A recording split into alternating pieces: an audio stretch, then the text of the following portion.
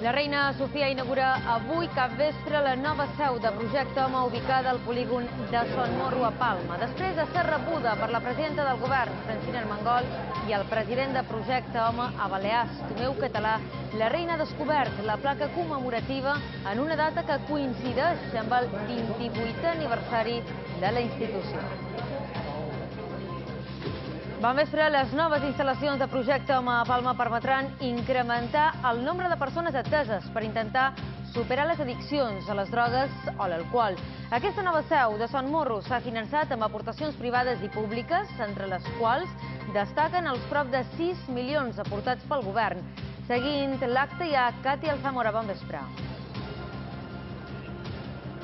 i en aquesta hora la cerimònia i els parlaments ja han acabat i els assistents estan compartint un petit refrigeri a l'interior d'aquesta nova seu de projecte, una seu que, com bé heu dit, avui ha conegut en primera persona la reina Sofia. La cerimònia ha estat multitudinària i també molt emotiva. Tot d'una vos en donant més detalls.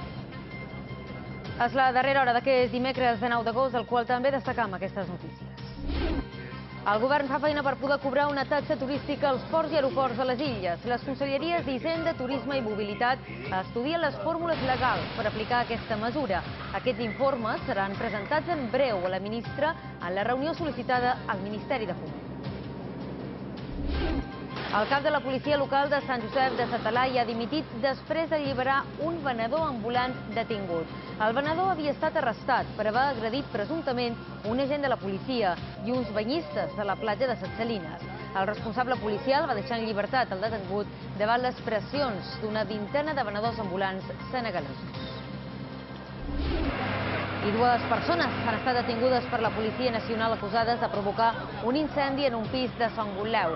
Els bombers han detectat tres punts diferents de l'habitatge amb foc. Un infant ha hagut de ser atès per inhalació de fums i els veïnats de l'edifici han hagut de ser desallotjats. Fins a 6 hores de feina varen haver de fer els serveis d'emergència de la Guàrdia Civil i els bombers de Mallorca per rescatar dos joves al forat de Saforada. Els dos adolescents començaren a pujar pel penya-segat fins que arribaren a un punt, a 40 metres d'altura, on no podien anar ni endavant ni enrere i varen haver de demanar auxili. Formentera demana a la demarcació de costes més temps per estudiar la nova delimitació de les zones públiques i les zones privades de l'illa. Des del Consell asseguren que algunes àrees han quedat més protegides, però que en altres llocs s'han alterat les partions sense cap criteri aparent.